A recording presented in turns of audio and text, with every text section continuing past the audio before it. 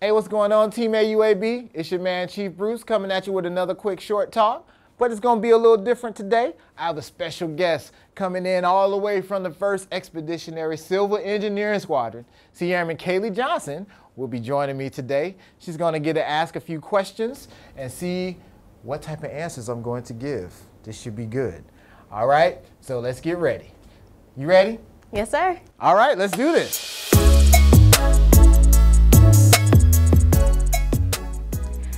Hi, my name is Erin Johnson from Emergency Management, and today I'm interviewing Chief Master Sergeant Bruce. You've been in for 23 years. Do you have any advice for airmen that's struggling? So I would say for, for the airmen that's struggling to figure out where they want to be, you know, if they want to re-enlist, if they want to get out, they need to figure out their purpose and figure out, hey, why am I here? And if I'm in the Air Force to get a certain set of skills that I can carry to the outside and my purpose is to help others, hey, so be it. Thank you for your service to your nation do your four years, do your six years, press on. For those that say, hey, I really love what I'm doing in the Air Force and I found my purpose in that, that aspect, then hey man, stay for the 20, 25, 30, 40 years. What do you say to people who find it hard to find their purpose in the Air Force or just in their career field? One, you need to find your purpose as a person, like as a human being. Why do you exist, right? Case in point for me, I joined at the age of 17 although I knew I wanted to stay in the Air Force for 20 plus years when I joined, I still didn't realize what my purpose was. My, I want to help as many people as possible become the best, whatever they are, whatever it is that they're going after. I want to make them the best at that, right?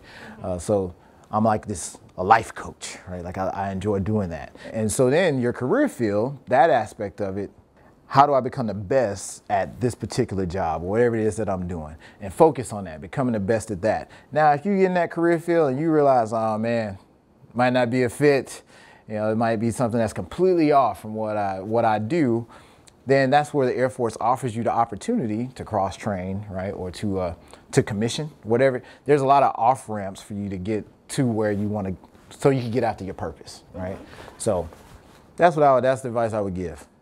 Now, a lot of time, people are coming in with degrees that are very similar to those of officers. They have like bachelor's or even master's for some airmen. Um, do you feel like that's closing the gap between officers and enlisted? It's two different oaths, right? So an officer takes the oath of office, right? We take the oath of enlistment.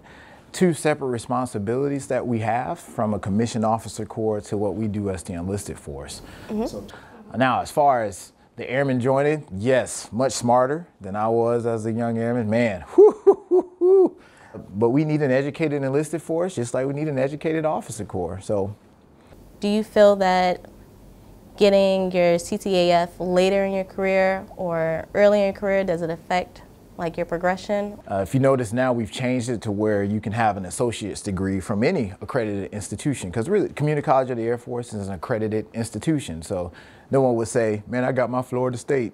I got my University of Florida. I would recommend you get it as early in your career as possible, right? So then in that way, it helps enhance you, help enhance your job performance, but it's something that you can get out the way uh, prior to moving forward, right? So some of us older heads, we waited a little longer, right, to, uh, because we were very focused on the mission. You throw, throwing my age out there, throwing how long I've been, just throwing me out there. In today's fight, it's a tad bit different. The world is connected. You know, even out here, you can go to school, got an education office, you know, so there's really no excuse as to why you wouldn't pursue education to make yourself better. It's not just about the Air Force and being a critical thinker. That's what education is about, making you think outside the box. What would you say is your next level of progression now that you've reached the highest level of enlisted force? uh, no, that's it. Like that's cheap. There's there's no there's there's no there's no E-10. So like I, this this is it, ma'am. So yeah, once you get there.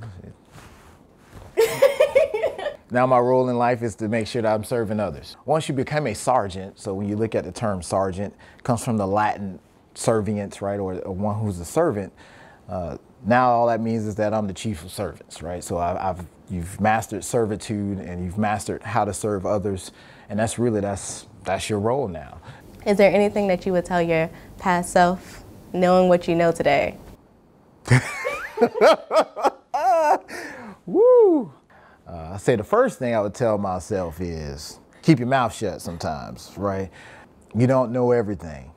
So I would tell myself, one, keep your mouth shut. Two, you don't come in as a chief, you don't come in as an NCO, you come in as an airman. So uh, master doing that before you try to do everybody else's job. It takes time, it takes progression, it takes seasoning, it takes experience. Like those things are important to your development as a as a human being and your development as an airman, as a as a leader in the Air Force. So I would tell myself those two things: keep your mouth shut and grow where you plant it.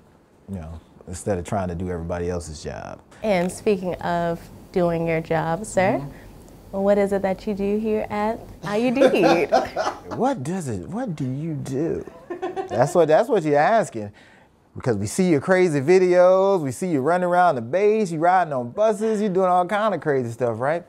Uh, so my job is to ensure, my number one job is to ensure that you are ready. Well, have we given you the tools? Have we given you the training to be successful at your job? That's number one. Number two, my job is to also be the ears, right? The eyes and ears of the enlisted force for my boss, right? I'm your voice to the boss. So whether it's our Wi-Fi or the food, right? Like those are the things that I, I, take to him and I say, hey, sir, here's here's what here's what's going down here in the streets. This is what's really happening. To see how we can make things better for you and for your families, uh, even back home. So those are probably like my main jobs. I hear a lot of stuff. That's my job, and I catch it from all different directions. And that's the fun part about the position. That's the fun part about leadership is being able to take all of that data. I like to call it data. Some people might call it concerns.